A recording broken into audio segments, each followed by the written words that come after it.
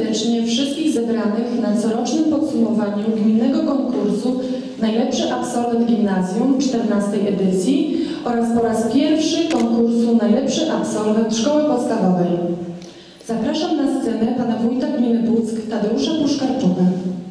Dzień dobry Państwu, dzień dobry młodzieży. Po raz pierwszy spotykamy się w nowej edycji, po raz pierwszy wyróżniamy najlepszych absolwentów szkół podstawowych. Miło mi przywitać na tej znakomitej uroczystości najważniejszych dzisiaj naszych bohaterów dnia, uczniów szkół gimnazjalnych, absolwentów i szkół podstawowych wraz z dyrektorami szkół, nauczycielami, wychowawcami oraz z rodzicami. Przyszliście dzisiaj zobaczyć swoje pociechy, z których na pewno jesteście dzisiaj bardzo dumni. Też chciałbym Wam bardzo serdecznie podziękować, że swoją postawą jako rodzice, nauczyciele, ci, którzy organizują pracę w szkole, stworzyliście te możliwości dla swoich dzieci. Bo każdy talent, to tak jak mówią, każdy diament znaleziony gdzieś tam wygląda niepozornie, ale on wymaga oszlifowania. I gimnazjaliści w wieku 16 lat już są oszlifowani. Chyba dobrze policzyłem 16. Natomiast ci, którzy kończą szkołę podstawową w wieku 12-13 lat, to dzisiaj to trudno policzyć, bo ministerstwo mówi raz od 5 lat, raz od 4, raz od 7. Rzeczywiście trudno dzisiaj wycelować, w którym wieku jest sześcioklasista, a jeszcze gorzej będzie. Ale tak, niedługo są wakacje, niedługo przed gimnazjalistami e, poważne wybory, jeżeli chodzi o dalszą szkołę, o e, profil kształcenia, czy to będzie gdzieś bliżej, czy gdzieś dalej. Jeżeli ktoś jest artystycznie uzdolniony, to będzie szukał gdzieś w Trójmieście albo może dalej do rozwijania swoich umiejętności. Natomiast dzieci ze szkoły podstawowej raczej są przypisane do obwodów szkolnych i chodzą do tych szkół, gdzie są przypisane lub rodzice wybierają inną szkołę gimnazjalną. Tych możliwości w ostatnich latach pojawiło się więcej. I tak powinno być, że to rodzic i uczeń decyduje o tym, gdzie chce pójść, gdzie będzie czuł się najlepiej i gdzie widzi swoje miejsce na świecie. Dzisiaj chcielibyśmy Was wszystkich wyróżnić za Wasze postępy, za Wasze osiągnięcia i za to, że jesteście chlubą swoich rodziców, ale też jesteście chlubą swoich wychowawców, swoich szkół, no oczywiście chlubą gminy. Gratuluję i dziękuję Wam za te wspaniałe postawy.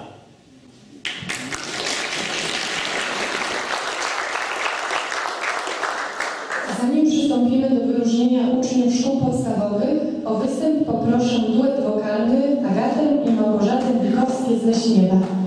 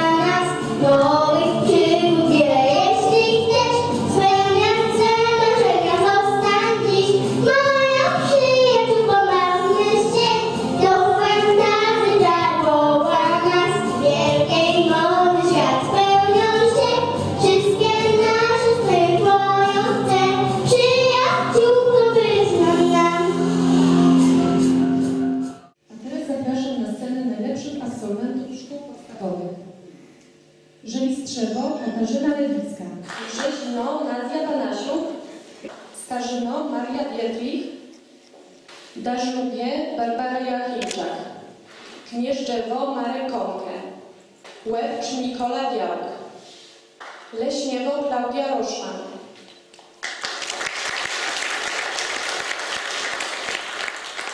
Średnia ocen na koniec klasy szóstej 5,50. Wynik ze sprawdzianu części pierwszej 73%, część druga 65%.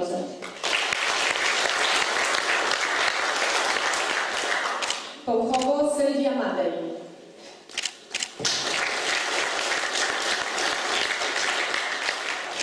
Średnia ocen na koniec klasy szóstej 6,0. Wynik ze sprawdzianu część pierwsza 98%, część druga 98%.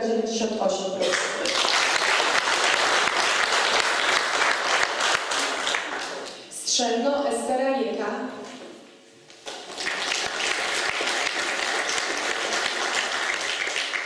Średnia ocen 5,27. Wynik ze sprawdzianu część pierwsza 88%, część druga 78%. Lekowo Górny Aleksander Cirowski. Tak wygląda kwiat podstawowy gminy Puck.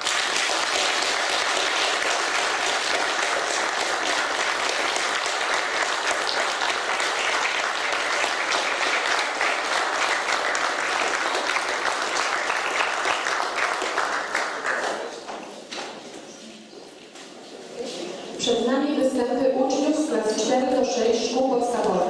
Zapraszam Kamilę Pleba z Żelistrzeba.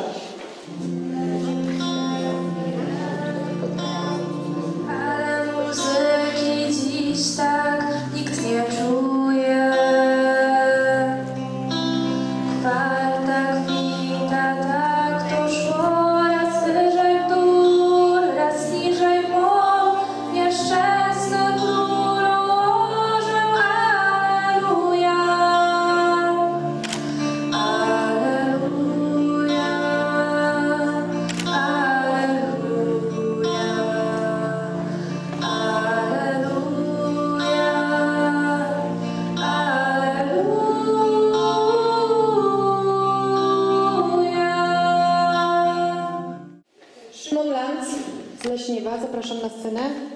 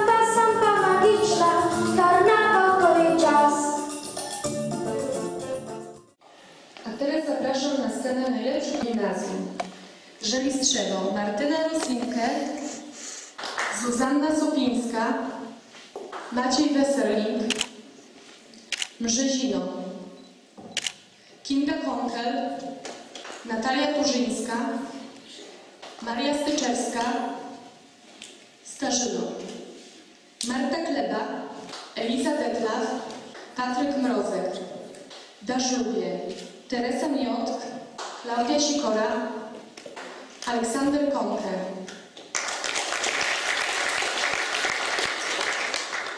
To tak nie może się obyć bez słowa komentarza. Ci młodzi ludzie chcieli podzielić się trochę z nami swoimi zamierzeniami i planami. Też dla nas bardzo ciekawe na bazie dyskusji o świecie w powiecie puckim. Tak zapytamy po kolei, gdzie kto się wybiera i jakie ma marzenia. E, I o to będę Was za chwilę zapytał. Dokąd się wybieracie i jakie marzenia ostatecznie w życiu?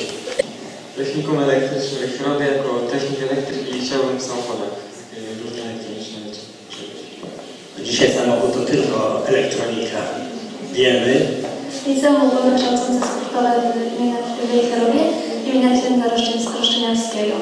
My w przyszłości chciałam uczyć WF-u, aczkolwiek pójdę, ma zależy pójść na studia. a jaki najlepszy wynik? Y, Ze sportu? To różnie, bo ja do większych stron, tak, sportem. Wszechstronny sportowiec, popatrzcie Technikum gastronomiczne w Pucku. No moim marzeniem jest stworzenie potem w przyszłości swojskiego. Czekają nas dobre smakołyki. Wejherowska pewnie pójdzie w odstawkę. ZSPREDA, organizacja reklamowa i w przyszłości chciałbym z marketingiem związać się. Nowe, nowe. Książek pomorskich brumi, ale nie mam pojęcia, co sobie dalej. Trzy lata na zastanowienie. Liceum ogólnokształcące imienia Jana y, Króla Jana III Sobieskiego. To jeszcze nie dokładnie określone. Y, Ja bym chciała pójść do trzeciego liceum imienia Marynarki Wojennej w Gdyni, na profil biologiczno-chemiczny, a co dalej to jeszcze nie wiem. Ja e, chciałam iść do pierwszego ogólnokształcącego liceum akademickiego w Gdyni i chciałam być chirurgiem obrazowym. Ja chciałabym iść do drugiego liceum ogólnokształcącego w Gdyni i na profil chemiczny proszę się studia. Szóstka Gdyni, w przyszłości coś z ratownictwem związane. Do dalszej edukacji wybrałam trzecie liceum- liceum ogólnokształcące w Gdyni i jeszcze nie mam konkretnych marzeń. Ja również szóste liceum ogólnokształcące i e, przyszłość wiąże z medycyną. Także z tego, co tutaj usłyszeliśmy, jedna osoba wybiera się do szkoły w Pucku, reszta idzie w większy świat. Jak co roku z grona 12 najlepszych gimnazjalistów naszych szkół zawsze jest dodatkowa nagroda w postaci nominacji do wojewódzkiego konkursu na najlepszego absolwenta gimnazjum gmin wiejskich i miasteczek województwa pomorskiego. Oraz e, z tym się wiąże specjalna nagroda, dwutygodniowy obóz żeglarski. W tym roku tą nominację otrzymuje i tą nagrodę na dwutygodniowy kurs żeglarski. Tak jest. Kinga Konkel z gimnazjum w Rzezinie.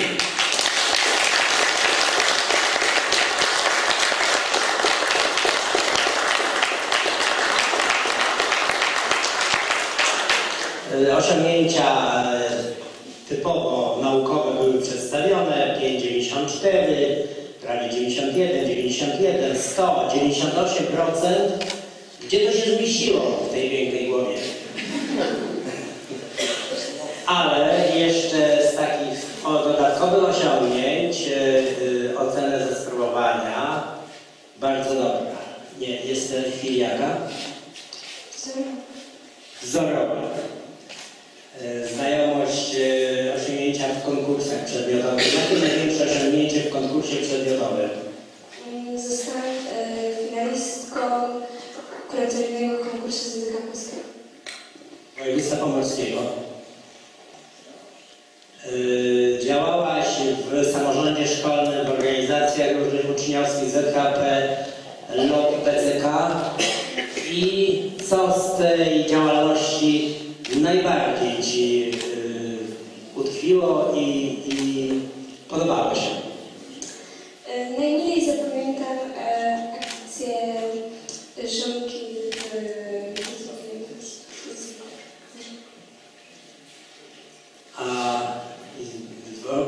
osiągnięciach artystycznych, e, który tomik e, wydaje wśród wierszy?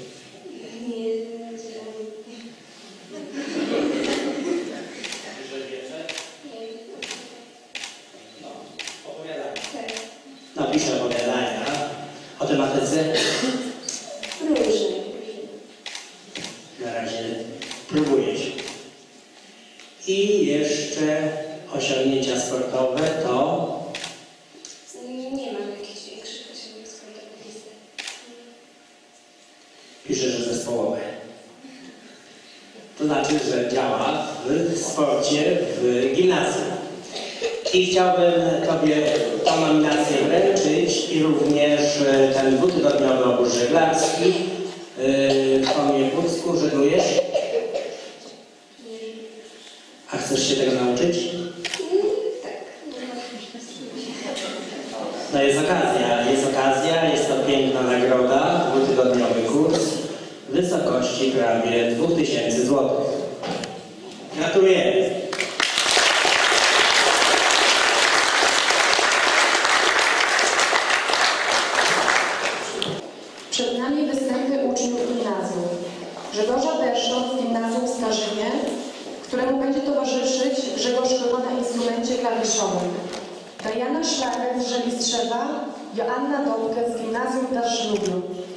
Lepeszą, Grzegorza Leszą i Grzegorza Chylę.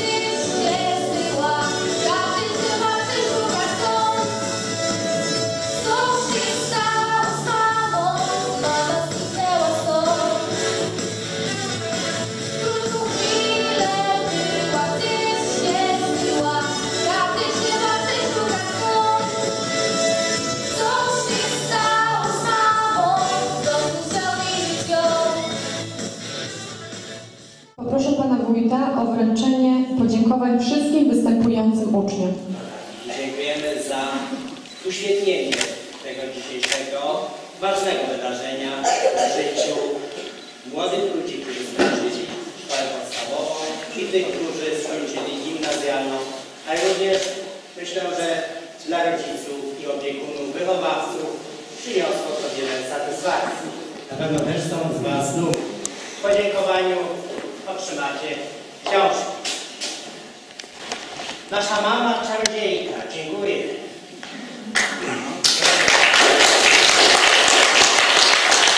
Patrzcie całego świata, ale ty już masz dosyć długą karierę artystyczną. No ja już cię widzę po raz kolejny. No kiedy się naskręca?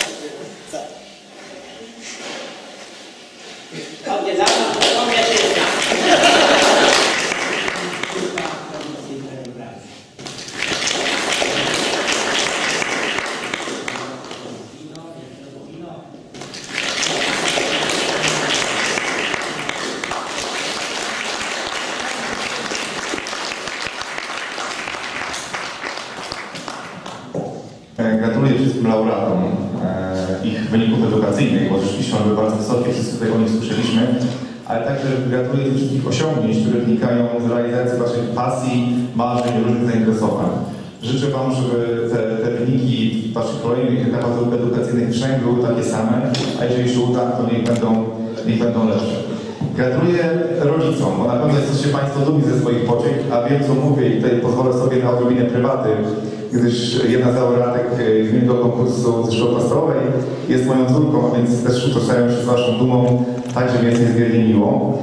Ale także chciałem podziękować e, nauczycielom. Sukces, który odnieśli Wasi uczniowie, to także efekt Waszej ciężkiej i trudnej pracy. Za to Wam bardzo serdecznie dziękuję, jak również i e, gratuluję.